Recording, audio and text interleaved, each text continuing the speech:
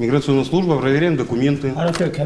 За распахнутой дверью несколько мужчин, судя по документам, граждане Узбекистана.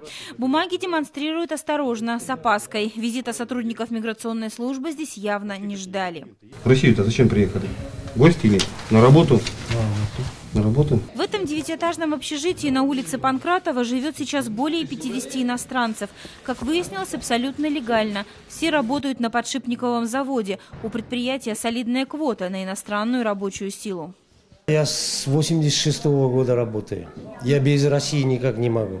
От силы домой приеду, каждый год туда-сюда ездю. От силы месяц побуду дома и опять сюда. В Вологде Абдукахар впервые, буквально в январе, приехал работать на завод. Деньги нужны дочери на операцию. В общежитии поселили сразу, и почти сразу у иностранцев начались конфликты с остальными жильцами.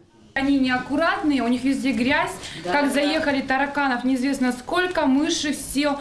А мы почему должны эту грязь-то терпеть? Тоже ведь не обязаны убирать. Им говоришь, прибери за собой, а они еще отвечают грубо и ругаются, и неизвестно, подойдут и стукнут. Именно поэтому жильцы и написали жалобу в миграционную службу. Под петицией подписались несколько десятков волокжан, недовольные многочисленными иностранными соседями. И без того условия в общежитии далеки от идеальных, а сейчас, уверяют, и вообще сплошная антисанитария. А вы представьте, вот на 9 этажей один душ, в такой душ ходим. Иностранные рабочие и постояльцы живут не первый год в одном общежитии, но раньше их селили на разных этажах.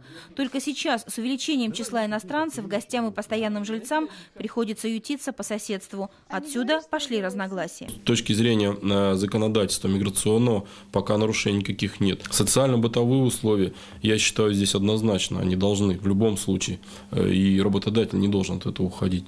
То есть здесь как бы вот должны мы найти компромисс и, соответственно, с местными жителями. То есть мы сейчас возьмем эту ситуацию на контроль и будем а, как бы эту, эту, эту проблему мониторить. Сотрудники миграционной службы настроены решительно. Проверят всю документацию завода, встретятся с администрацией общежития. Но и постояльцы намерены идти до конца. Уже написано заявление в прокуратуру области, Роспотребнадзор и даже президенту страны. Мария Помилова, Алена Дербина, Максим Тышковец, Василий Попурин. Новости Вологды.